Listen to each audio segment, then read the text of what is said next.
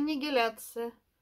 Нет у меня больше возлюбленного. Так остались одни отголоски, бледнеющие круги краски, попавшие в воду. Что-то, но не кто-то.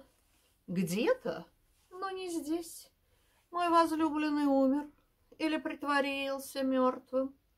Не шелестит больше листвою, не шумит ветром. Листья летают бесхозные и самостийные, И ветер шумит сам по себе. Живу в мире неодушевленных вещей и явлений. Из мира ушла душа и дух, Которые валели, хотели и повелевали. Твое кто сменилось на что?